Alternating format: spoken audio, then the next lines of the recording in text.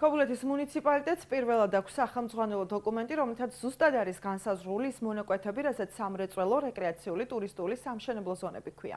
დოკუმენტი აჭარის ფინანსთა და ეკონომიკის სამინისტროსთან არსებულმა სივრცითი მოწყობის ჯგუფმა დაამუშავა, რომელშიც არქიტექტორებსა და ურბანისტებთან ერთად სხვადასხვა დარგის ექსპერტები იყვნენ ჩართულნი.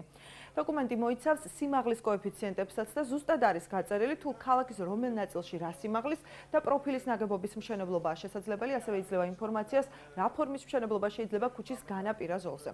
მომზადებულია урბანული და სატრანსპორტო რუკები, მარშრუტები სახანძრო სამაშველო დახმარებისათვის. ობიექტებს, რომლებიც თავისი დანიშნულებითა თუ მასშტაბებით რომელიმე კონკრეტული ზონისათვის მიუღებელია, ზონისათვის შეუსაბამო სტატუსი მიენიჭება და შემდგომი განვითარების პერსპექტივა შეეზღუდება.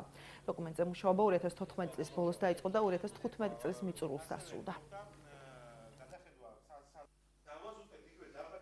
ქობულეთის სივრცითი მოწყობის დოკუმენტი გულისხმობს ანუ ქობულეთის თვითონ ქალაქის და მთლიანად მუნიციპალიტეტის ზონირებას თავისი სივრცეების მიხედვით თუ სად უნდა განვითარდეს სამრეწველო ზონა თუ რა კოეფიციენტი უნდა მიენიჭოს მშენებლობებს და ასე შემდეგ ყველა ზონა მოიცვა ფაქტიურად გაკეთდა урბანული რუკები, გაკეთდა სატრანსპორტო რუკები, იქვე დათვლილია თქვა სოფლებში მისასვლელი გზები, ხანძრები, ხანძრების შემთხვევაში რა დრო დაჭirdება სახანძრო მანქანებს თუ სად უნდა მოხდეს ხანძრისთვის წყალმომარაგება და ასე შემდეგ. ქაოსური განვითარება და ქაოსურად განაშენიანება აღარ მოხდება მუნიციპალიტეტს და ეს იქნება ყველაფერი დაგეგმილი და იქნება იმ урბანული დაგეგმარებაც ის იქნება საერეგულაციო ზონები ისე განსაზღვრული რომელიც უკვე მოქმედი გენგები და მოქმედი განვითარებით, რომელსაც გვთავაზობს.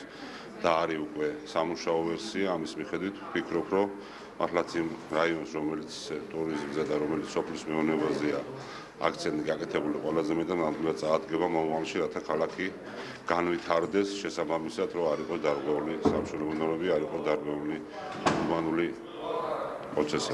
დღეიდან ქობულეთს ექნება იმის საშუალება, ქობულეთის არქიტექტურის სამსახურს იმუშაოს უკვე კონკრეტულად მოცემული კოეფიციენტებით განაშენიანების ინტენსივობის და ასევე გამწვანების კოეფიციენტებით თუ და აღადაჭირება კვლევა, თქვათ იგივე საპროექტოებს, რომ რომელიც მუშაობდნენ და იკვლევდნენ გარემოს. ეს მოხდა საინჟინრო ინფრასტრუქტურას, ასევე სოციალურ ინფრასტრუქტურას, თუ სად და რეკომენდირებულია თუ ქობულეთს მაგალითზე თუ ვისაუბროთ, თქვათ იგივე ახალი საბავშვო ბაღის იგივე აფთიაქის ან ნებისმიერი სხვა დანიშნულების ობიექტის არსებობა და გაჩენა, ასევე ეკოლოგიურ საკითხებს მოიცავს, ბუნებით დაცვით საკითხებს, გარემოს დაცვით საკითხებს და კულტურული მემკვიდრეობის დაცვით საკითხებს.